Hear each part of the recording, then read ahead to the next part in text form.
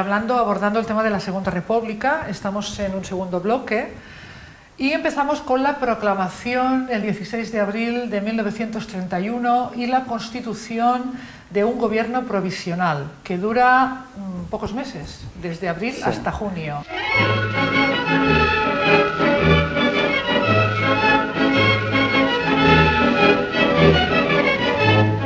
El 14 de abril se proclama la República, aunque las elecciones no habían sido ganadas por los partidos republicanos, pero como estos vencen en las grandes ciudades, se decide sin más que se instaura la República.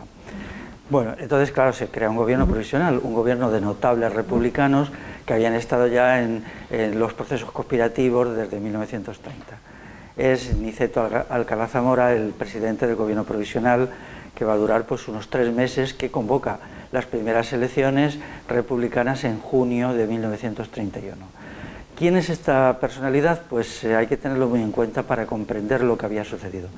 Eh, era un cacique, un terrateniente andaluz de la zona de Córdoba, eh, con muchas propiedades allí y que manejaba el sistema caciquil con eficacia. en segundo lugar, era un hombre muy católico de convicciones católicas muy firmes, católico de, prácticamente misa diaria. Entonces, eh, bueno, pues significa que todas las fuerzas oligárquicas, la Iglesia también, habían hecho piña alrededor del proceso de sustitución de la forma monárquica por la forma republicana. Luego había algunos ministros también que eran católicos fervientes. Finalmente, cuando surja el conflicto eh, con la Iglesia, pues ellos irán dimitiendo, pero inicialmente había habido una piña de todas las fuerzas vivas, de todos los poderes fácticos para traer la Segunda República. El gobierno este se caracteriza por ser extremadamente violento, porque la respuesta de las clases populares es mucho más allá de estas fotos en donde se ve en lugares emblemáticos como en la Plaza San Jaume, la Puerta del Sol de Madrid, manifestaciones. Esto es una parte, pero hay otras manifestaciones. Las fotos de la proclamación. Sí, aquí tenemos esta, aquí tenemos en, la Puerta del Sol eh, una foto muy curiosa con los automóviles de la época, ¿no? Pero lo que sucede inmediatamente es una reacción muy intensa de eh, rechazo no a la República en sí misma, sino de rechazo al sistema. Es decir, las clases trabajadoras siguen con sus acciones en la calle inmediatamente. Entonces el gobierno republicano se ve enfrentado a una situación de conflictos, de huelgas, que le desacredita bastante. Esto va creciendo y después de las elecciones de junio del 31, cuando ya es un gobierno formado por partidos republicanos y por el PSOE, la cuestión es todavía mayor. Ahí el verano del 31 es particularmente violento, sangriento, con muchos eh, muertos, sobre todo los famosos sucesos de Sevilla, en la cual interviene incluso el ejército y cañonea una taberna en la cual se reunían gente popular. Entonces la, disuelven a cañonazos y, por así decirlo, se quedan tan tranquilos, aplica la ley de fugas. La ley de fugas consistía, para la gente que no lo sepa, en que a los detenidos por mm, delitos, entre comillas, políticos o sociales, en un momento dado la policía les decía, bueno, iros, se les quitaban las esposas, decían, salir corriendo, venga. Y luego se disparaba contra ellos, se les mataba y, luego se hacía un parte diciendo, eh, han sido muertos al intentar fugarse. Por eso decían la ley de fuga. La ley de fuga se había aplicado anteriormente, eh, ya desde principios de siglo, y la Segunda República la utiliza masivamente igual, sobre todo en el durísimo verano de 1931. Em, eh, todo esto, claro, hace que el conflicto sea fuerte, el, uso del ejército en funciones de orden público también, eh, no solamente en grandes capitales como Sevilla, sino en pueblos. Hay un estudio precioso de, en muchos pueblos de la campiña cordobesa, se llegó a usar incluso aviación para atacar a la gente que se había eh, puesto insurgente, que había, estaba usando fusiles, eh, enfrentándose con la Guardia Civil y con la naciente Guardia de Asalto. Hay que destacar un elemento que es que eh, mm, los, el gobierno republicano socialista nunca dimitían, hubiera los muertos que hubieran, las cosas que pasaran, ellos nunca dimitían. Y tampoco había nunca investigaciones judiciales de lo que había sucedido. Podían haber tantos muertos por la ley de fugas y ahí quedaba eso. La única investigación que se hace en esta época, que el Poder Judicial eh, sale de su sorprendente sopor, es cuando los sucesos de Casa Vieja, en enero de 1933, cuando son asesinados por la policía de la época, la Guardia de Asalto y la Guardia Civil, me parece que son 22 vecinos o 23, no recuerdo bien, y entonces eh, ahí sí, la campaña de prensa es tan clamorosa, las denuncias del carácter represivo de la República y de su director en la época, de su jefe intelectual, que era Zaña, es tan fuerte que ahí sí interviene el, eh, interviene el Poder Judicial. ¿no? Pero que yo sepa es el único caso de los cientos que hubo, de tal manera que eh, la República significa impunidad represiva para los cuerpos policiales curioso porque no estamos en guerra, sino estamos en, una época con un gobierno republicano y supuestamente estable. No, no, se entiende demasiado que tenga que haber tanta represión. De todas maneras, permíteme, porque te has, nos hemos saltado del gobierno mm. provisional al bienio progresista, eh, te lo has saltado sin comentar que en junio del 31 hay nuevas elecciones, entonces sí que ya empieza lo que se ha dado en llamar el bienio progresista, que va de junio del 31 a diciembre del 33, formado por varios partidos republicanos, más el PSOE del que, del que estabas hablando ahora, que es el mismo PSOE que tenemos ahora, digamos, ¿no? que ha evolucionado hasta ahora, sigue siendo el mismo partido. Y en esos momentos el presidente de la República es Manuel Azaña. Así es. Ah,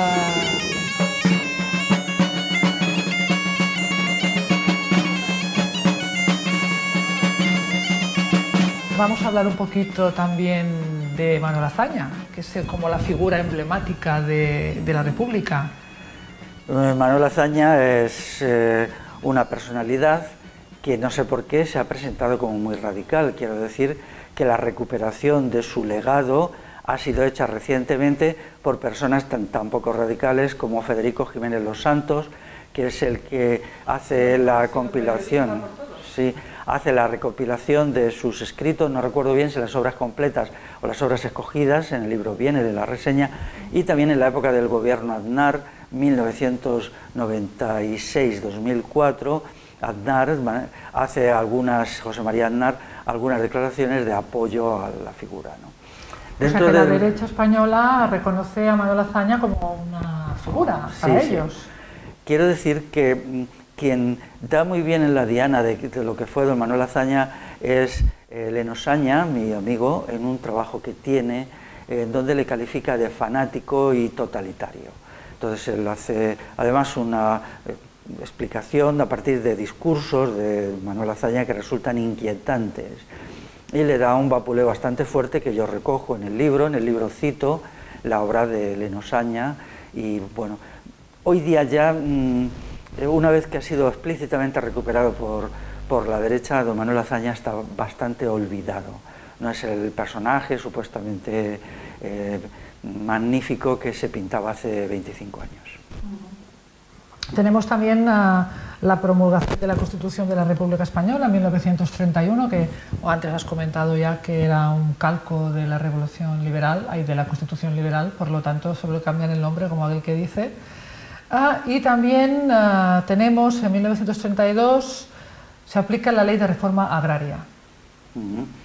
Bien, la Constitución, voy a detenerme unos minutos en ella, eh, también incorpora la, la, Constitución de moda en la época, que es la Constitución alemana de 1919 de la República de Weimar, que era muy avanzada esta república, esta Constitución, bueno, quizás sí, pero quiero decir que Hitler no la deroga. Hitler se mantiene en el gobierno sin derogar la Constitución de 1919. Incluso en algún momento se felicita de que hayan suprimido a la monarquía porque considera que la monarquía es un instrumento anticuado y absurdo para los planes suyos, belicistas y hipertotalitarios. Era mejor el régimen republicano que es en el que actúa. Por lo demás, la república lo único que incorpora es la noción de república integral que quiere decir que se integran lo que llaman las diversas nacionalidades. Es decir, Cataluña se tiene que integrar en la República Española como una parte de España, eso significa integrar. hay un discurso muy célebre de, hazaña en las Cortes donde explica que en realidad todo eso es un proyecto de vertebración de España con la desaparición de los rasgos propios de los pueblos peninsulares. Y es casi la única diferencia que puede encontrarse con la de 1869 o la de 1876, en las cuales son unitarias, es decir, la noción de España no integra nada, solo se impone por la fuerza. Aquí es un procedimiento levemente más astuto para que la gente se incorpore y de ahí surgen los estatutos de autonomía. La, eh, eh, Ley de Reforma Agraria de 1932 intenta resolver la conflictividad enorme que había en el mundo agrario en la época. Pero no se entiende bien esta conflictividad, no estaba ligada tanto al problema de la propiedad de la tierra, eh, sino a la incompatibilidad del mundo rural, que entonces era más del 50% de la población, con la modernidad. Eh, pero en el sentido de que ellos no aceptaban los procedimientos modernos, el crecimiento excesivo del Estado, el trabajo salariado, la desintegración de los valores, etc. Se se ha, exagerado muchísimo en el carácter latifundista, esto no es verdad. Latifundistas, latifundistas, en realidad era el sur de Badajoz y Cádiz, que era la provincia latifundista por excelencia, y también Sevilla y Córdoba un poco en la campiña. En el resto había más bien minifundio o mediana propiedad. Hay un estudio precioso que ahora recuerdo que lo estudia para Ciudad Real. Que bueno, en Ciudad Real había latifundio en tierras de muy baja calidad, eh, que apenas usaban para nada más que para un pasto extensivo, pero donde la tierra era de calidad, lo que había era pequeña y mediana propiedad. Luego estaba el caso también del latifundio de Salamanca, que es ahí un añadido un poco curioso que nunca he entendido, ¿no? porque lo había, pero bueno, lo había. Entonces, eh, eh, en zonas que eran minifundistas, como en La Rioja, hay una conflictividad enorme. Los trigueros castellanos, así se les llamaban los productores de trigos, se movilizaron de una manera tremenda y combativa. Por lo tanto, pido al público que se quite de la cabeza la idea del jornalero andaluz, porque es un tópico, y un tópico que no es acertado, ¿no? Porque, bueno, la ley esta reforma agraria lo que pretendía era más bien marear la perdiz. Esa expresión de marear la perdiz es lo que hacía y la gente no le prestó mucha atención porque, bueno, era muy contradictoria, decía una cosa, decía otra, decía otra, aquello era caótico, ¿no? Se supone que iba a parcelar el latifundio, no se parceló nada, se creó el IRA o Instituto de la Reforma Agraria, que era nada más que un organismo estatal que eh, compraba o arrendaba algunas tierras a los terratenientes y luego se las entregaba a los eh, jornaleros en general como eh, no como propiedad, sino simplemente como arrendamiento por un tiempo tal. En esto no hay nada de nuevo, en la época lo habían hecho muchísimos gobiernos, en, las, en el este, por ejemplo, creo que se había hecho en Bulgaria, en Rumanía, en muchos países se había hecho, en Alemania se había hecho y no había tenido ningún significado. Aquí además eh, los, las comunidades del Instituto de Reforma Agraria se ponían bajo las órdenes de un ingeniero agrario. Entonces este se convertía en una especie de déspota que ordenaba a los campesinos lo que tenían o no tenían que hacer. Aquello era un pozo sin fondo, como los campesinos no se identificaban con lo que les entregaban, pues trabajaban mal y poco y entonces pues todos los proyectos que ellos hacían eran deficitarios. No había realmente aquello no era rentable, tenía más bien un significado demagógico. Yo aquí sigo un estudio muy curioso de un pueblo de la provincia de Cádiz, cómo fue la cosa, y lo estudia muy cuidadosamente un autor actual que dedica varios libros a entenderlo, entonces yo me he guiado por eso y es más o menos lo que es así. ¿no? En general se entregaban a temas muy poca tierra, dos, tres hectáreas por, por familia, cuando en el secano de la época era necesario por lo menos 15 hectáreas. ¿no?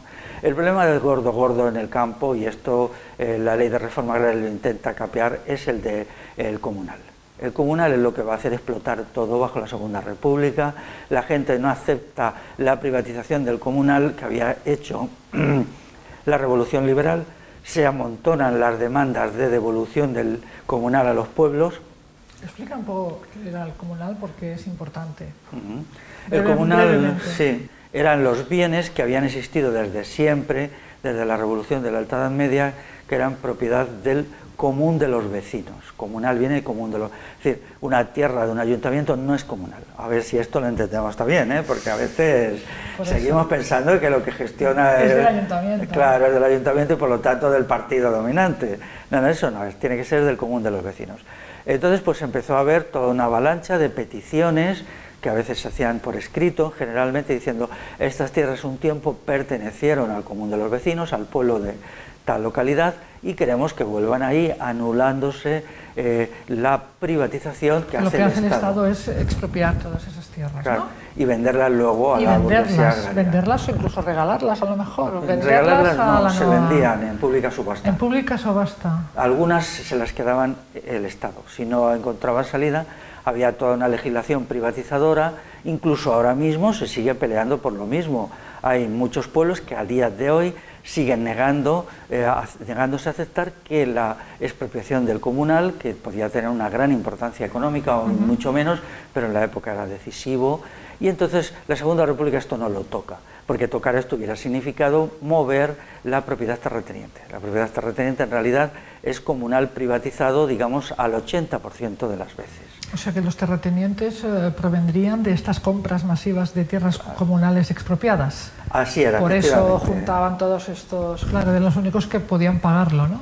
Sí, eh, también habían comprado cuando se había expropiado los bienes del clero en la desamortización de 1836, pero eso era muy secundario respecto a la gran cantidad de bienes comunales, no solamente eran tierras, eran molinos, eran hornos, eran cosas eh, de trabajo artesanal. ¿no? Entonces eso era vivido por la gente como un expolio intolerable. Esto fue una causa de conflicto enorme.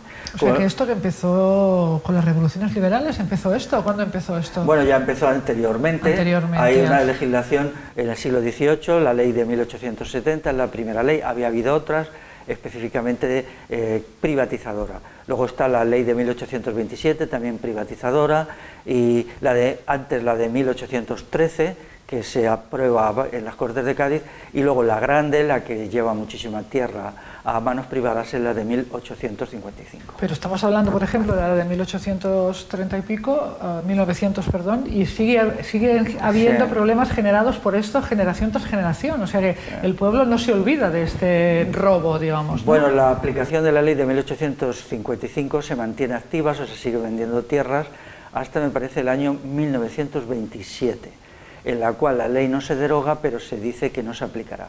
Ya, Siguiendo- porque ya no debe de quedar nada. Sí quedaba, Sí pero queda. Joaquín Costa llega a la conclusión que era una expropiación tan brutal y tan así que enfrentaba demasiado al Estado con las, eh, las poblaciones rurales y que era mejor frenar. Entonces, Primo de Rivera precisamente decide que es razonable no apretar más las tuercas, porque claro, si la gente va a la mili y pensando que en su pueblo les están expoliando y robando todo, no se puede esperar que ellos sean muy buenos soldados y que mueran por la patria, etcétera, etcétera, etcétera, que es lo que pasaba exactamente en las guerras de Marruecos. Exactamente eso. O sea, la gente iba allí completamente quemada y lo único que quería pues es desde partirle la cara al primer oficial que le mirara mal hasta en el momento exacto tirar el fusil al suelo y salir corriendo porque tal. Entonces la cuestión del comunal es decisiva. Ah, seguimos avanzando. Se crea también un nuevo cuerpo de guardia, la Guardia de Asalto. ¿Cómo es esto? ¿No había suficiente con la Guardia Civil, con los carabineros? Ah, ¿Necesitamos más represión?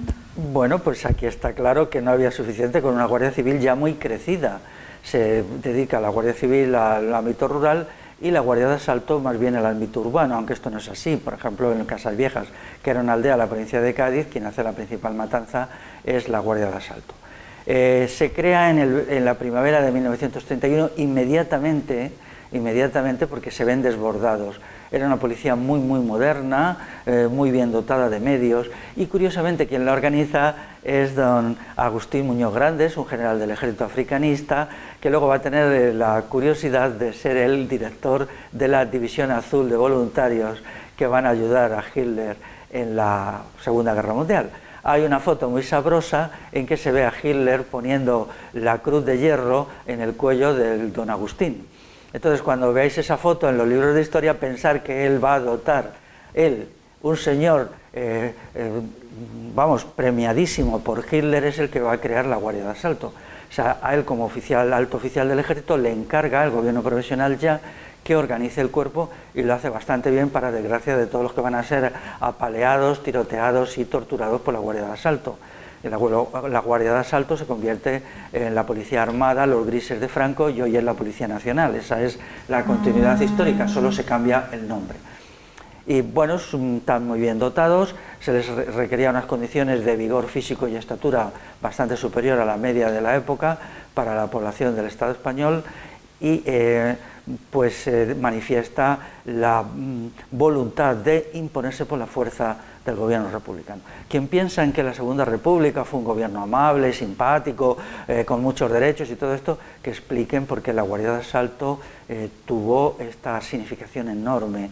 Aquí antes hemos señalado esta foto en donde se ve conduciendo sindicalistas, no, aquí les veis con los fusiles, llevaban además un uniforme negro muy elegante. ¿Eran, ¿Eran los Mauser? Sí, estos eran los fusiles Mauser que ellos usaban, lo usaba la Guardia Civil también. Diré, el fusil Mauser era un arma de guerra terrible eh, que se construía aquí ya desde finales del siglo XIX con licencia alemana. Es un fusil alemán, entonces aquí se compra la licencia y se construye en grandes cantidades para el ejército y también para el aparato policial.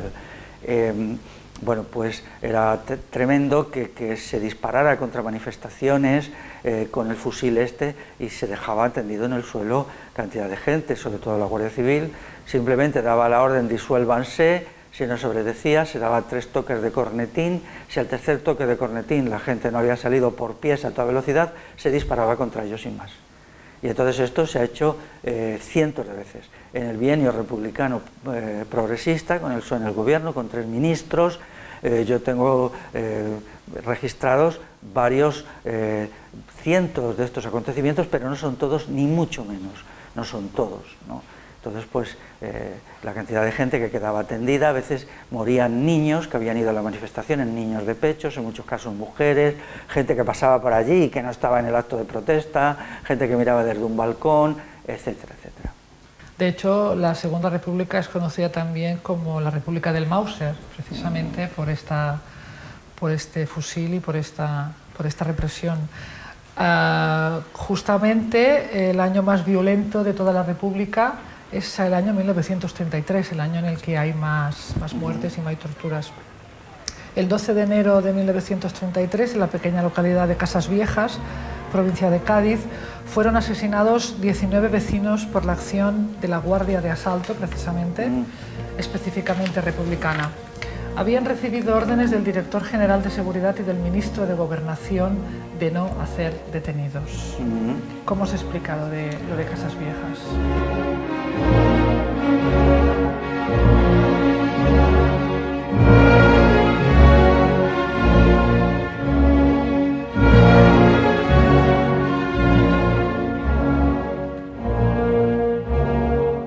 Pues era un intento de amedrentar a la población rural que estaba muy soliviantada. Es decir, se buscan escarmientos mm, y entonces lo que se hace es, eh, sobre todo cuando ellos resisten la acción de la de las fuerzas policiales, pues eh, una vez que se han rendido, se les pone allí contra la pared, en, la casa donde ellos vivían, y se dispara contra ellos, ¿no?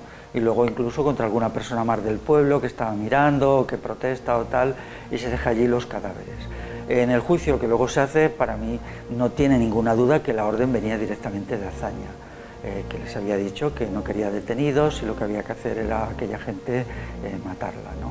Pero el caso Casas Viejas no es distinto de otros muchos, salvo en que la prensa dice hasta aquí hemos llegado, este asunto lo vamos a mover, pero había otros acontecimientos muy parecidos, quizá no con tantos muertos, pero es muy importante, por ejemplo, la represión de los trabajadores del calzado en el año 32, que también disparan contra ellos en un pueblo de la provincia de La Rioja, cuando están manifestándose en la plaza del pueblo, hacen una descarga a la Guardia Civil, deja muertos, me parece que a 15, entre ellos 6 o 7 mujeres, porque el trabajo del calzado siempre ha sido un trabajo bastante femenino y creo que hay más mujeres muertas que hombres allí, mujeres trabajadoras. Esto era común, ¿no? Y bueno, y luego pequeños actos en aldeas pequeñas, un muerto, dos muertos, tres o cuatro, eso era común, ¿no? Hay un, fenómeno terrible de la violencia, y no solamente la violencia de los tiros, ¿no? El Mauser era también muy curioso, por ejemplo, un culatazo con el Mauser dado sobre el pecho te podía enviar a la muerte un año después, solo había que dar bien, así un golpe de fusil, entonces te hundían las costillas, te provocaban una infección, ¿no? y esto se sucedía constantemente. El fenómeno de la tortura bajo la Segunda República es espeluznante, espeluznante. La mayoría de los historiadores a mí me, me asusta ¿no? que lo utilicen, eh, lo expliquen con el término palizas. O sea, la palabra palizas es lo que se usa. No, no son palizas, serán eh, cuestiones tremendas. O, por ejemplo, un golpe en la columna vertebral. El, el Mauser luego tenía una chapa metálica. Cuando se apoyaba sobre el hombro, se, la, la, culata acababa en una chapa. Entonces, bastaba con que te dieran un golpe en la columna o te dieran un golpe en la cabeza, te producían una hemorragia. Y eso no se cuantifica como muertos, pero esa gente moría. Yo he hecho un estudio de cómo se puede calcular el número de muertos a partir del número de torturados. Naturalmente reconozco que mis estudios no son muy completos, ni creo que puedan ser los de nadie, pero sí es verdad que contribuyen a destapar un elemento. A veces es todavía peor la tortura que disparar con un fusil contra la gente, porque si te dan un tiro te matan en el instante, sin embargo, si te mandan a tu casa vomitando sangre, por ejemplo, te matan en seis meses vista, cargan sobre tu familia con todo lo que aquello significa, eh, crean un estado de terror. Eh, hay por ahí muchos testimonios de gente que luego escribió cartas, que lo contaba. Espero que los historiadores del futuro de la Segunda República saquen todo esto a la luz, porque está. Lo que pasa es que no se quiere tocar porque es, bueno, pues va contra el mito dominante. ¿Le pasó factura política, Zana, esta matanza? Sí, Azaña, bueno, ya estaba muy tocado precisamente por la cuestión represiva. Para ese momento ya la ley de reforma agraria no había funcionado. Estaba claro que la gente no se dejaba engatusar por aquel lío caótico. Yo he estudiado mucho la ley de reforma agraria, la verdad es que es incomprensible. ¿eh?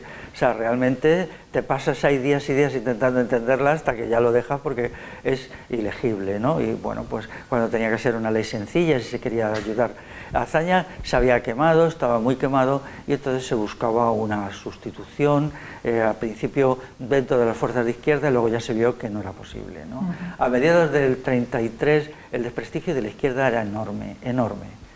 O sea, y eso hace que incluso en las elecciones de diciembre ganen las derechas, no porque la gente fuera de derechas, sino porque eh, había sido tan horrible lo que había hecho la izquierda que querían como una alternativa de recambio bueno, fuera lo, lo, mismo, que fuera. Lo mismo que ocurre ahora, ¿no? Más o menos. Sí, eh, había un sector muy grande de gente que no votaba, que se abstenía y, bueno, pues eh, se pensó quizá que votando a otros, no se votaba a la derecha, este uh -huh. juego derecha-izquierda no, sino a otros. A otros. A otros, uh -huh. ¿no? Pero no se quería votar a la gente que se había manchado tanto de la represión, de la mentira, de la violencia, como habían sido los, los partidos republicanos y la izquierda.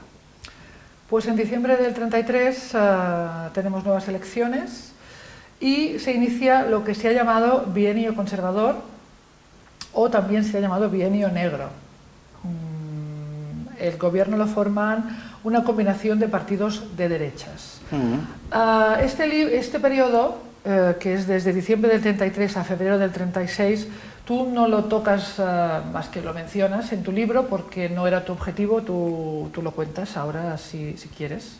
Porque... Claro, yo quería historiar la República progresista, no la República conservadora. Entonces, como esto es una república de derechas, pues me salto esa etapa y de hecho también me salto la insurrección asturiana, eh, que a mí me ha gustado mucho, es un acontecimiento precioso, precioso, magnífico, pero si me hubiera puesto con eso el libro no tendría 500 no sé cuántas páginas, sino 1000. Entonces decidí cortar por lo sano y no entrar en ello. Uh -huh. Pero no porque defiendas a las derechas o porque... No, claro, no, no, no. Me... Explica un poco por qué... Sí, bueno... Eh, las, eh, pues se puede pensar que puedes eh, hablar mal de las izquierdas, pero no quieres hablar mal de las derechas, pues decir, por eso te lo pregunto.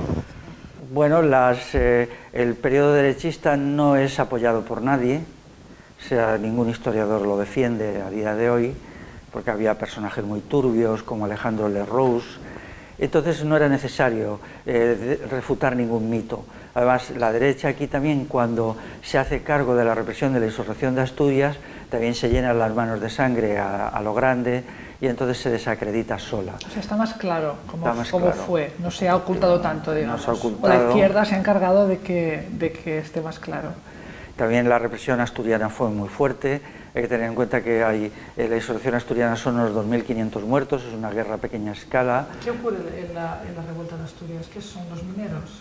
La revuelta asturiana es, pues, eh, en la en el avance hacia una situación revolucionaria general, que eso es como hay que explicar la Segunda República, que es lo importante y no que si el gobierno tal o gobierno pascual, es eh, un momento, un momento en que eh, la clase obrera asturiana, sobre todo los mineros, pues deciden acudir a un acto insurreccional armado a partir de que allí había fábricas de armas que ellos van poco a poco sustrayendo, llevándoselas a casa y cuando llega el momento estaban bastante bien armados. Eh, bueno, no podemos entrar ahora en explicar por qué son los mineros asturianos la clave, su relación con el mundo rural, un proletariado muy culto con muchísimas lecturas, que eso es decisivo. ¿no? Entonces llega un momento, octubre del 34, en el cual pues creen que ha llegado el momento de la revolución social y se lanzan.